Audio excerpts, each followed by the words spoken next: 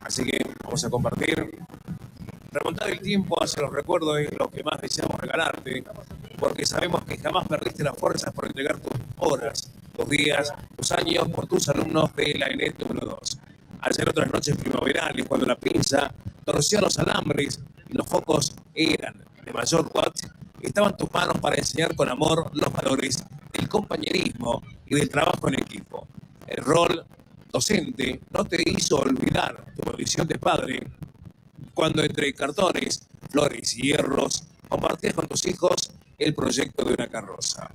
Entre juegos, risas y anécdotas enseñabas carroceando, porque también se enseña en esa aventura en la cual se veía implicado el aprendizaje de cada alumno.